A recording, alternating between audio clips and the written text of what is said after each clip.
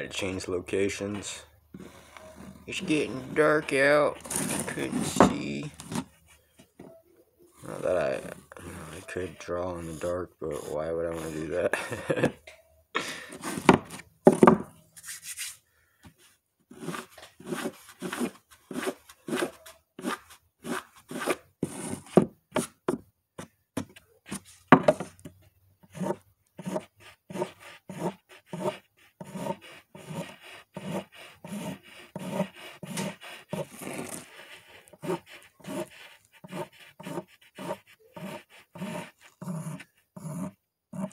I know other artists usually just paint, but I started, you know, um, either using markers or coloring pencils beforehand, and I found that, you know, my work is, you know, turned out 10 times better for me.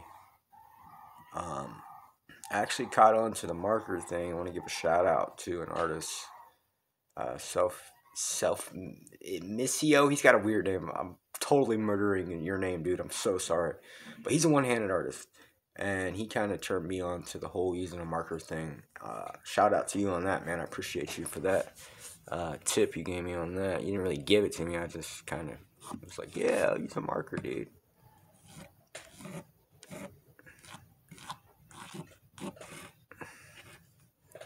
Just if you do use a marker, just you know Make sure you paint over it. Man, you can go to schools and all that stuff, and you know, ultimately, you know, when it comes to being an artist, I think what works for you is what works for you. It may not work for another person. You know, I mean, the technique, I mean, yes, but the way and the way that you do that technique is totally up to you. But being an artist, it's all about creating your own technique and your own style, you know. I mean, if you want to be like other artists, hey, that's on you. I mean, be yourself, you know, be original, you know. That originality is getting harder and harder and harder to find in this day and age. You know, it truly is. You know, everybody else is just copying everybody else. You know, you'll come out with something that's original, you know, have your own style, and then somebody will be right behind you with that trying to claim they did it.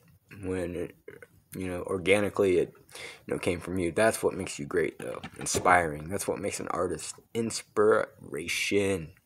Inspiring others. That's what an artist does. That's what an artist is. That's what art is supposed to do. Help inspire you know for greater things. Sometimes for you know bad things too I mean, art is subjective.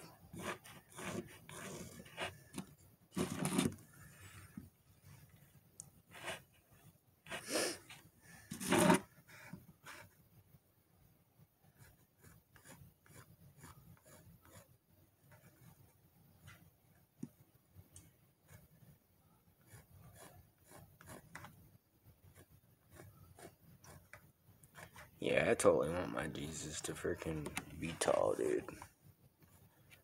I mean, imagine he'd been tall.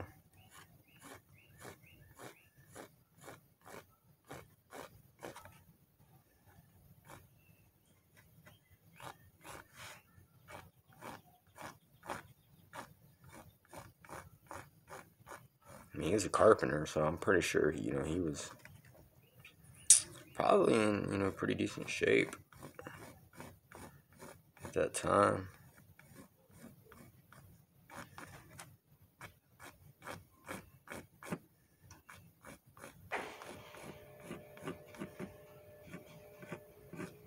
Imagine he would have been, you know, pretty decent shape.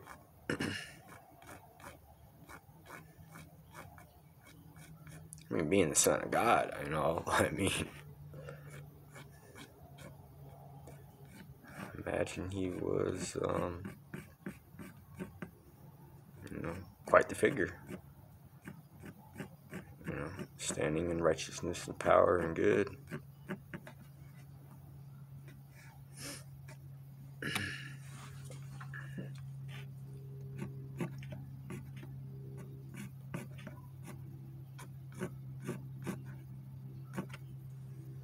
Definitely not white though. I know Jewish people, you know, they come in every color, just like white people, black people, Mex- Mexican people, you know, all colors and nationalities. You know, we all, I mean, even Jamaicans, you know, there's white people, you know. but, you know, as he was described, he was bronze, you know, so he was, you know, darker complexion. I imagine if you were out in the woods, you know, a lot and traveling, you know, yeah, you're gonna get a tan, dude. I mean, I, look at me, I'm pretty, you know, spring's just kicked in, only been outside, you know, in direct sunlight. You know, it's already beaming down, dude. Don't take long. of course, I could, you know, imagine, you know, what the climates were like 2,000 years ago compared to now.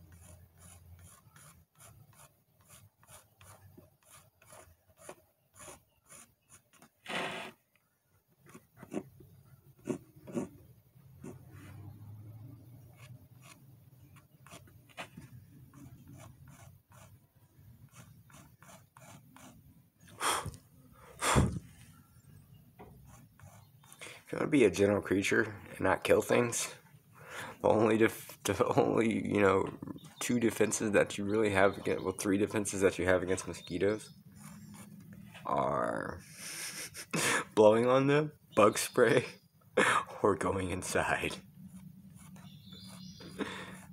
No, I don't want to kill them.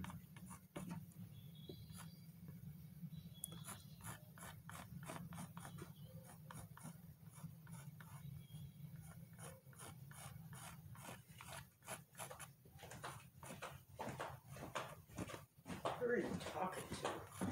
I'm recording. Hmm? I'm doing. I'm working.